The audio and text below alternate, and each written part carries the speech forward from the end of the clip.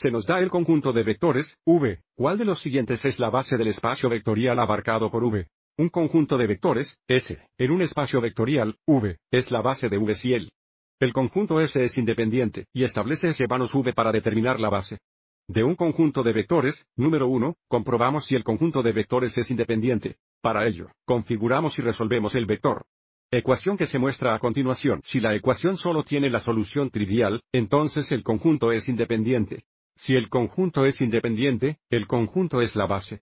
Si el conjunto es dependiente, lo que significa la ecuación vectorial tiene soluciones no triviales, luego eliminamos los vectores que corresponden a las variables libres. Estos se pueden escribir como una combinación lineal de los vectores correspondientes a las variables básicas. Los vectores correspondientes a las variables básicas o variables principales forman la base del espacio vectorial abarcado por el conjunto de vectores.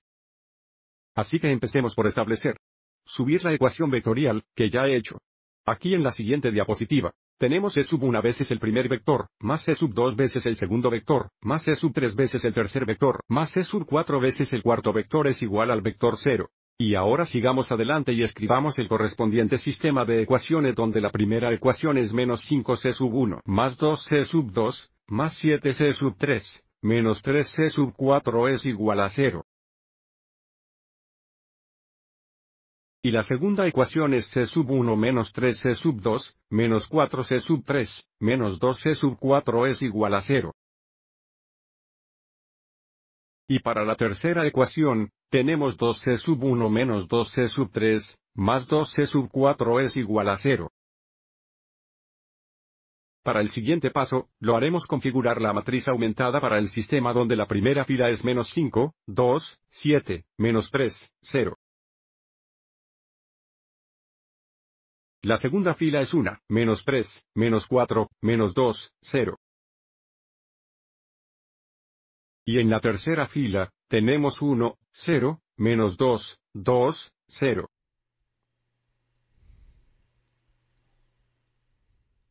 El siguiente paso es escribir la matriz aumentada en forma de escalonamiento reducido, lo que ya he hecho para ahorrar tiempo.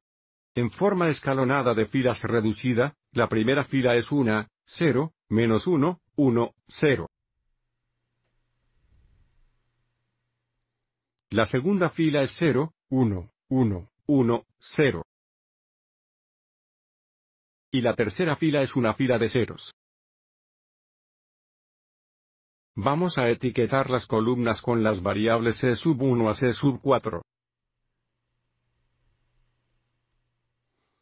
Y ahora vamos a identificar los pivotes, que son los primeros distintos de cero entradas en cada fila, aquí y aquí, lo que significa C sub 1 y C sub 2 son las variables básicas, y C sub 3 y C sub 4 son las variables libres.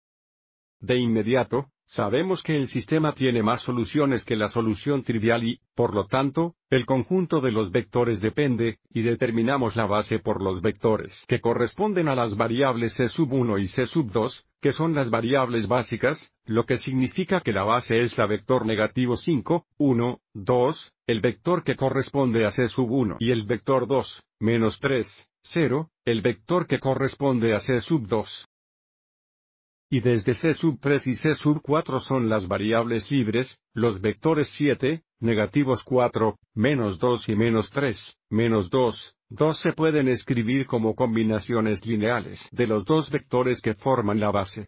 Así que sigamos adelante y escribamos esto. La base del vector el espacio distribuido por V es vectorial negativo 5, 1, 2, y 2, menos 3, 0.